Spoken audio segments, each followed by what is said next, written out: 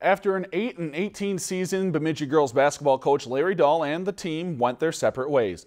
Now, nearly two months later, the Jacks have their new head coach. Saturday, Bemidji Activities Director Troy Hendricks announced Steve Schreiber would take over the Lumberjack bench. Schreiber is a BSU graduate and former track and field standout for the Beavers. He has spent the past seven years coaching the Menahga girls basketball team, compiling a 75 and 106 record over that time period. Schreiber is set to speak with and meet the team for the first time tomorrow. If you've enjoyed this segment of Lakeland News, please consider making a tax-deductible contribution to Lakeland Public Television.